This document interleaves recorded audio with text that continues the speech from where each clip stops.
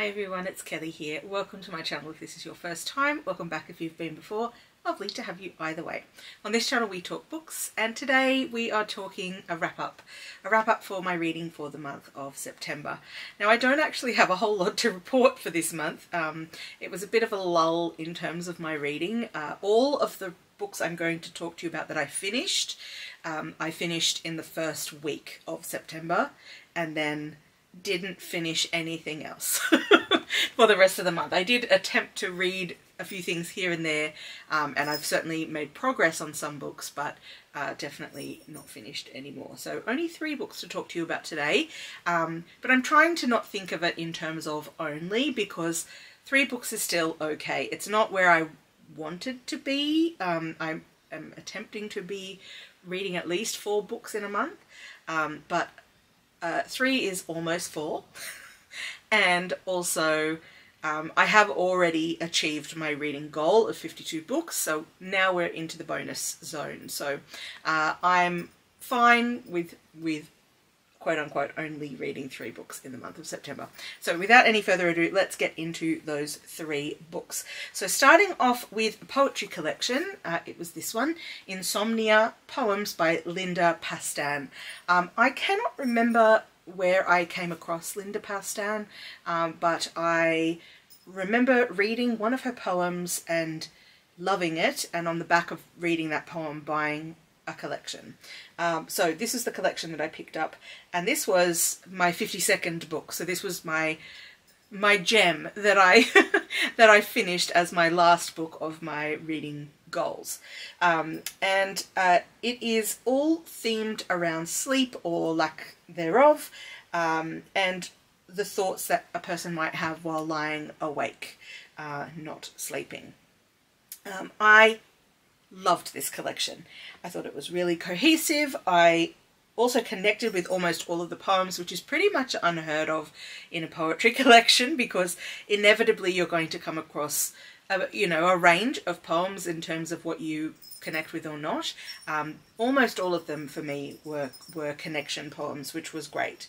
Uh, and I am really glad to have discovered Linda Pastan and look forward to reading more of her poetry. I know she's got quite a few collections, so I will be certainly seeking those out and looking to get to uh, her collections again. I also just want to point out as well, because, uh, you know, I think one of the things about a poetry collection and cohesion, um, often a poetry collection even if it contains really good poems, might not have a feeling of cohesion because obviously a person is writing from the heart and they're, you know, um, expressing themselves in that way. So obviously you kind of got to go with where your heart is. And I think the way that this collection is themed, she's been able to talk about a number of different topics because it's, you know, lying awake in bed thoughts, so therefore the poems can be about other things, but it still sort of comes, all kind of comes through uh, with, with that theme, and cohesiveness in a collection I think is a really, is something I certainly prize quite highly in a poetry collection. So highly recommend this one. I gave it five stars. Um, what a lovely 50 second book to, to read, a five star book, which was amazing. The second book that I finished in the month of September was Wall by Jen Craig. This was a book that was nominated and shortlisted, I believe, for the Stella Prize. No, the Miles Franklin Award um, this year. Um, and for me, this one was just okay. Um, so it's about an Australian artist who is living abroad and they return to Sydney from London following the death of her father um, and her plan is to create this like large scale installation artwork um, by putting together items from her father's kind of hoarder house uh, in Chatswood uh, in Sydney. And uh, so, and, and it's, you know, decades worth of hoarding. And it's very sort of a reflective book. And I guess the the overall success of that project is she finds it harder than she was anticipating to sort through the things and to, you know, also be doing this collection. It's written in a really stream of consciousness style, like she's kind of talking to somebody, um, and she's writing it to a particular person, and my guess, I don't think she ever states it, um, but I think it's her partner um, living in London. So she's writing to this person. And I guess the thing that's really interesting about this is the way that um, the way that that partnership is kind of characterized in the way that she's speaking to the person um, and sort of saying, oh, you remember when blah, blah, blah, or, you know, you remember this guy, or, you know, I was telling you about this um, and you said da, da, da, you know, so it's sort of an interesting kind of like way into um, a person's relationship without entirely from their perspective without actually ever meeting the partner. So that was quite interesting. Also, the way that this this main character kind of characterized her father and her mother, the relationship she had with those people, a relationship with her brother, um, very interesting. Uh, so there were definitely lots of really interesting elements in this book.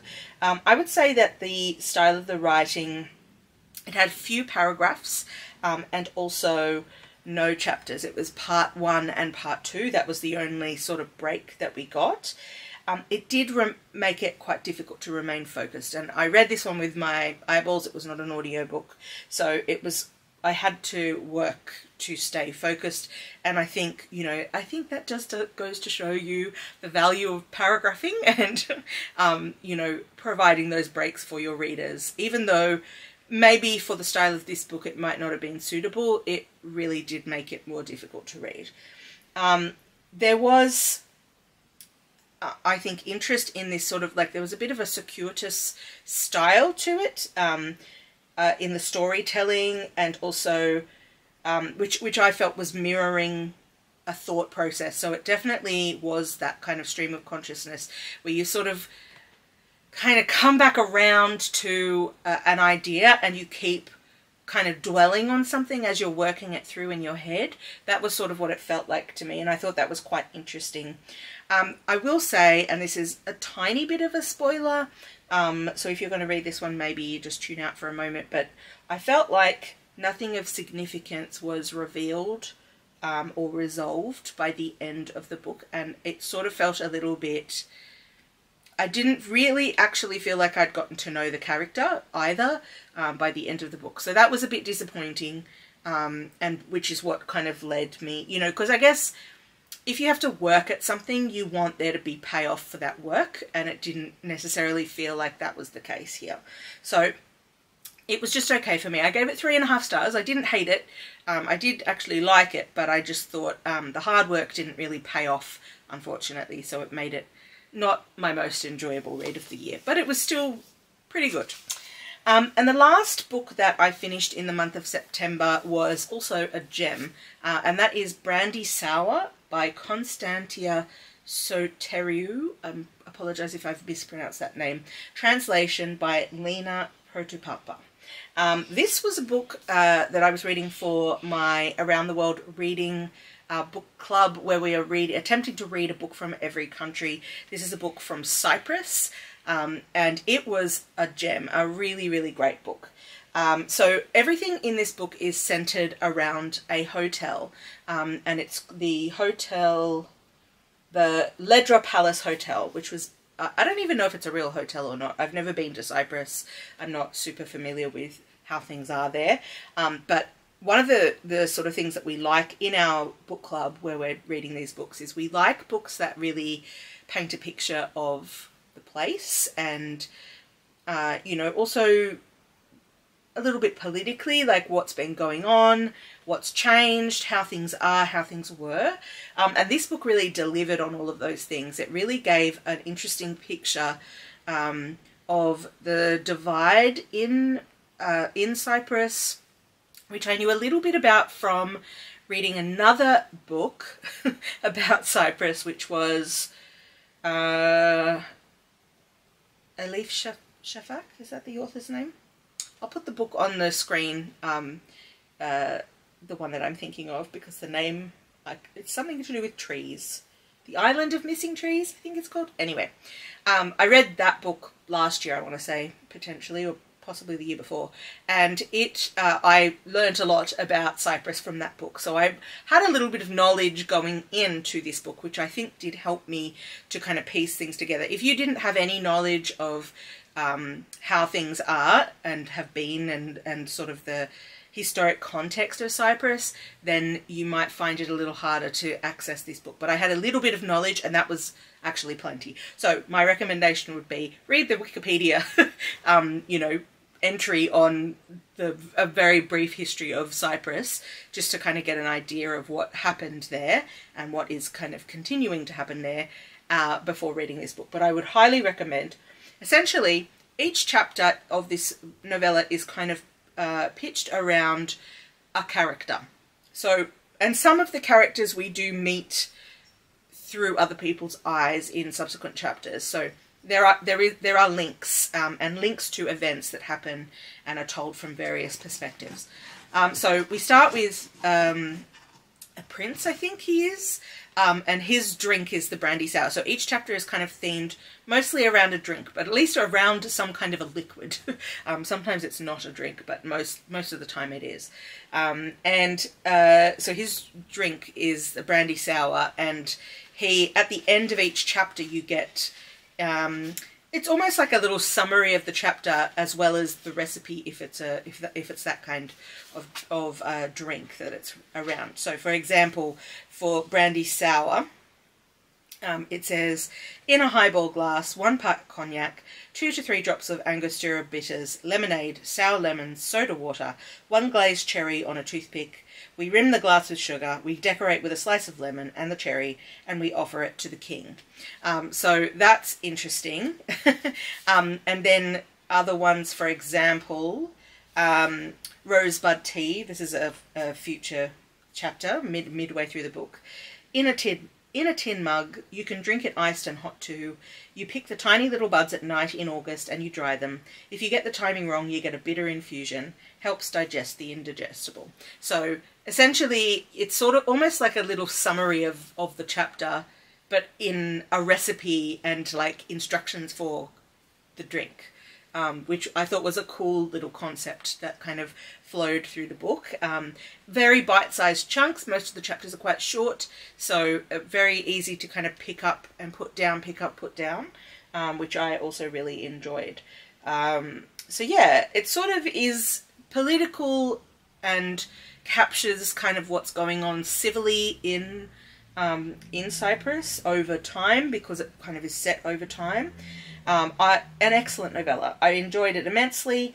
Um, through the different perspectives and personalities, we get to see snapshots of of uh, the impacts of foreign presence in Cyprus, and we're talking about various foreign presences in Cyprus, and then the conflict that happens there, um, the devastation of that con conflict. I thought this was brilliantly done and I gave it four and a half stars. So, those are the three books that I have read. Uh, I have one more book to talk to you about before I finish up this video and that's a DNF. Um, and I this was a really sad DNF because I was looking forward to this book. Um, and it's one of the books that I had brought away with me when on my trip to the snow. Um, you may remember if you've been around um, and watched some of my other videos, I did a TBR of books, potential books to take to the snow. Uh, this was one of them and it was the one I was looking forward to the most, which is The Art of Breaking Ice um, by Rachael Mead. Um, the concept of this book was really interesting to me. So it's um, uh, based around a true, a, a real person um, and uh, I'll just read a little snippet from the back just to um, so that it's clear what I'm talking about. So it says, in 1960, when the legendary icebreaker Magga Dan set sail for Antarctica, it contained a secret. Hiding on board was Nel Law, wife of expedition leader Phillip Law. She would make history by becoming the first Australian woman to set foot on the icy continent, but it was her art that would change everything. So essentially, this is she's a real person, and she really did go to Antarctica with her husband. Um, in a sneaky way. She wasn't supposed to go there. There weren't supposed to be women going um, on this expedition and she sort of like broke the mold and and went anyway and then it was like well i'm here now what are you going to do about it so she got to stay So I was really looking forward to this because it sounded like a really interesting concept. I, she sounded like an interesting person. And essentially the author, Rachael Mead, has fictionalized this woman's life. Um, so it sounded really interesting. And then I started reading it. I did did not get that far. I got a couple of chapters in, about 25 pages uh, out of just under 300. Um, and I just did not like the writing style. It was, um, it, okay. I'm going to try and say this in a way that doesn't sound, uh, it's, it's not for me. So it, this could very well be a book that other people would enjoy. I'm not suggesting that it's, you know, overall a terrible book. But for me, the writing tended to um, a style that I don't love, um, which was reminiscent of a style that I've read in some um, romance novels and um, other sort of quote unquote fluffy fiction. And that's not to say I don't always enjoy fluffy fiction because I do, uh, and there have been some perfect examples of romance books and um, quote unquote fluffy fiction um, that I have really enjoyed. For example, I really loved Emily Henry's Book Lovers, um, which is 100% fluffy fiction, but the writing was really good and I really engaged with that story. Here, I the writing was fluffy in a way that I just didn't like and the characterization of the way that this character was written almost felt like it was like a caricature of a person and I guess this is always the risk when you're writing about a real person that you don't actually know that much about because we don't have that much evidence about this person um, other than her art and some photographs and knowledge that she did this thing. Um, when you are fictionalizing somebody's life like that, it can be, when you don't know that much about it, you kind of create this character. And I think if you, if it's done well, um, it's a person that you really want to engage with. But I think the way that this author characterized this person just made me not want to engage with the character at all. I just didn't feel connected to her. And the writing was um, fluffy in a way I just didn't like. I, I don't know how else to say it um, to explain what it was about it. And I, I attempted to pick it up again. Um, so I had, I was up to maybe page 24. Um, and I just, yeah, I started to read the chapter and I was just like, no, no, I can't, I can't do it. I just can't do it. Um, and I have, I feel like I'm getting better at doing it. And it's always difficult to do when it's a book you're excited about um, and it's a book that you've paid full price for. Um, but there are too many books and not enough time. Um, so I'm, I don't want to spend my time reading a book I don't enjoy, is the bottom line. So Unfortunately, this one for me was a DNF. Okay, so that is the month of September. That's it. Um, but you will be pleased to hear I have actually, now that I'm recording this at the beginning of October, I have actually finished another book. so I am back on track, hopefully, with my reading. Um, and I will be back to give you my uh, October wrap up, obviously, at the end of this month. Um, apologies as well for my inconsistent uh, posting of videos. I have had a hectic month. I've had um, two trips uh, I've had a very busy end of term at work um, where we were building up to some sort of big stuff um, and just trying to get all of that work done. So I just have not been reading and I have not been filming. So apologies, but hopefully we are back to a regular schedule now. We'll see.